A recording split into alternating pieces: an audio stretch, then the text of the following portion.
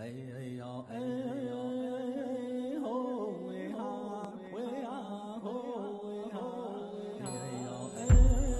my name is Christopher Smith. I am from Gallup, Mexico. I am a Native American, and the tribe I am from is Navajo. Hello, yat a Anthony Hohole and that name is Nake Jin Bashching, Lashi Dashache, Nake Jin Dashanele. Um, hello, I'm Anthony Hohola and I'm a student at NMSU.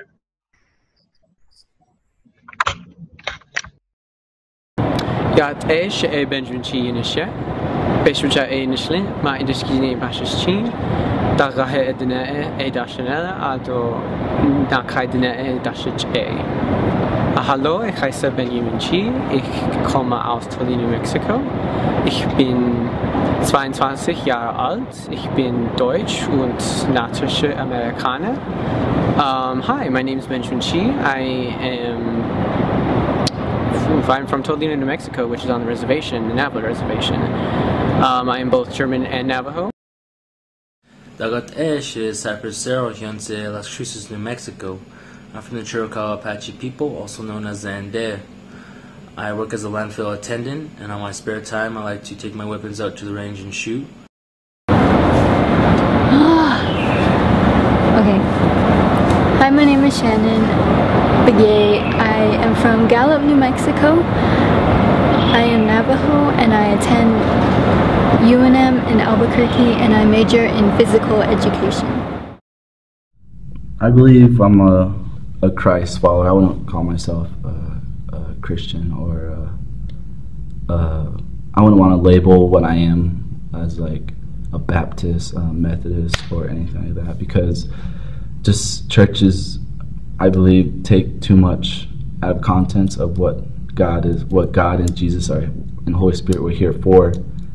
And I just, my opinion on churches and everything is just is that if you follow Christ and Jesus' ways and the way He taught us, um, I believe you're good. You don't have to um, categorize yourself as a Baptist, uh, like a Methodist or Reform or anything. I believe that if you believe in God and Jesus and the Holy Spirit, you're good. I want to say that I'm a follower of Jesus. Like, I want to say that because I've like grown up in the church and because I choose like the church and to follow Jesus. I feel like I feel like I'm a follower of Jesus. I wouldn't say I'm like the best or the greatest or anything. I just feel like I am in that like overall in life I want to um become a better follower. Like I feel like there's a whole lot of aspects that I can constantly improve, continuously learn more about Jesus, learn more about um, the Bible, everything in that like Okay, so I would hesitate to call myself Christian, or rather, the, the, the first Christian, the first type of Christian that I mentioned, uh, one that one who is rather conservative, one who is rather close-minded in, in, in many ways. I would say primarily that I believe in God, and I do, and I I believe in Christ as well. I believe in the, the Trinity. Like I, I'm very theological. I studied theology, and a lot of that has really guided how I view myself and how I view other Christians and all that kind of stuff. So, um, I, like I said, I would hesitate to call myself a Christian. If, if pressed, I would say yes in order to, you know, like connect with somebody and say yes, I'm a Christian. I, I believe in God and all that kind of stuff. It may look it may look different than um, than what most Christians think or do believe or how they act, but I do believe that we believe in the same God in that sense. I, I do not follow Jesus necessarily. Um, I do have in the back of my mind uh, still a respect for him um, because of my mother. Um, and you know, there's there's times where I look to him, you know, and um, it's just there's a whole lot there that um, needs a whole lot more explaining, um, such as uh, being Native American and having a culture um, part of you, but then you're also having a type of other culture put on you when you're a young child. Am I a Christian? I grew up in a Christian environment my whole life. My parents are followers of Christ and most of my family members. I also went to a Christian school and feel like I have been a Christian all my life. I do not say that like, oh, I'm a Christian. No, it's more like, yes, I'm a daughter of Jesus Christ kind of thing. Being a Native American and uh, and being a Christian is, I believe, is very difficult because you can't find a because you want to believe in traditional ways, but at the same time you want to follow Jesus, and don't know how to put those two together. But in my opinion, it's just I, when I was at Rehoboth, I felt I was too native for the people there, and then when I was exposed to the reservation schools, I was too white for those kids over there. So it's just it's just in my opinion, it's just it's hard to define. Can you be a Christ, native and a Christian? I think there is a stigma that a lot of native practices are pagan, and I believe that is incredibly false. um, I, uh, God is, is revealed in many different ways, and that is not only in the Christian, Judeo-Christian Western way of, you know, the Bible and all that kind of stuff. It's, it's revealed through nature, it's revealed through through songs, through through creation and all that kind of stuff. I believe natives have a really strong sense of creation and kind of nature and all that kind of stuff. So I believe God speaks to them that way. So in that way, we, although have different practices, we believe in the same thing, so that we can get along rather than try to be one or the other. I believe you can be native and Christian, but uh, when people come to the question of can I be a native uh, traditionalist and a Christian at the same time, it's very uh, debated uh, topic. Uh, I think because um, when people come down to it, can you really be traditional when you're into a type of uh, Christianity or Bible that was not here um, as far as your ancestors believing in a certain way? Um, does that make you traditional? I, to me, I think um, traditional is keeping to your own ways and to the old ways to your ancestors. Can you be native and Christian? What do you mean by that? Like, because I'm a Native American and I'm a Christian. So, like I said, I I didn't grow I I didn't grow up traditionally, um, but but it's true. I'm a Native and a Christian. So, yeah. Native people are today rediscovering who they are as indigenous people. And for followers of Jesus, we are discovering too that to follow Jesus in no way puts you at odds with being native.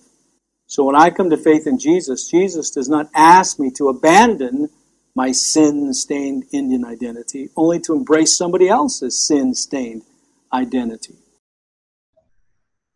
My problem isn't with non followers. Like, I have nothing with them. It's more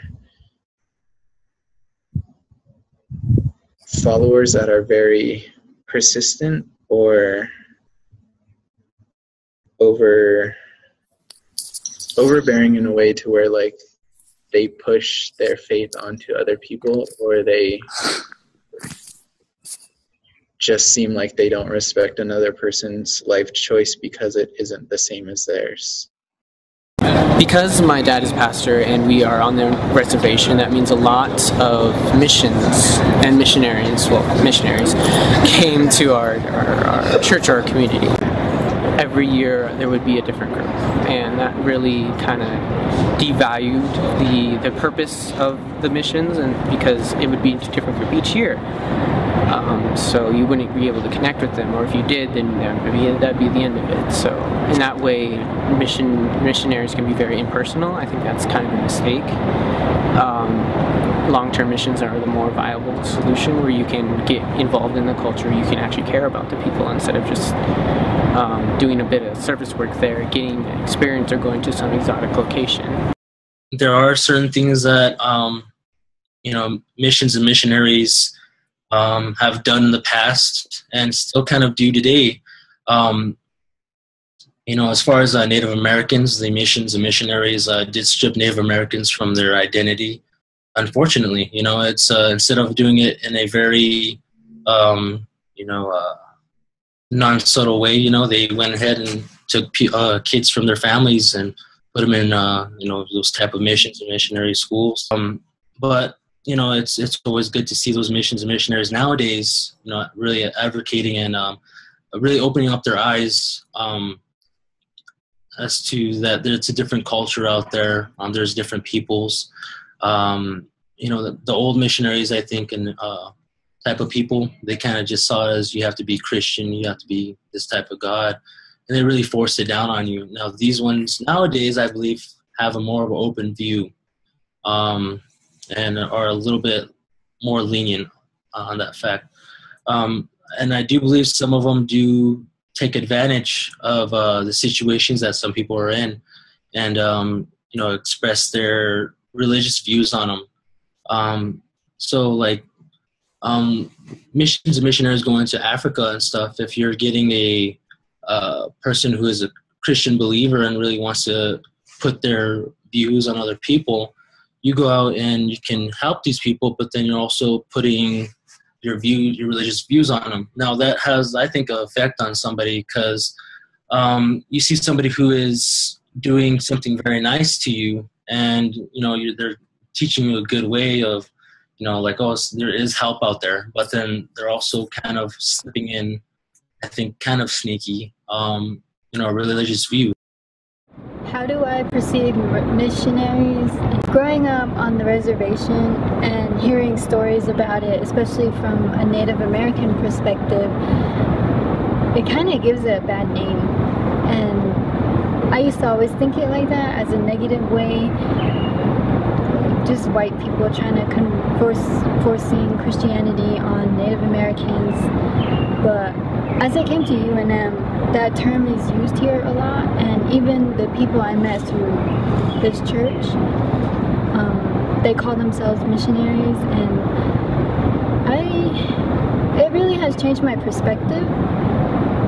You know, the, those people aren't the same as the ones back then, and it's our choice. They they don't push it on me, they don't force me, they really make you be a Christian on your own to give your own opinions because they understand what people go through. And I feel like what they're doing is really good. I back home in my high school I didn't feel like I was sort of safe to express my Christianity, mostly because it's a small school and there's a lot of Native Americans. But here, there's a lot of there's a lot of people who follow Christ, and now I feel safe and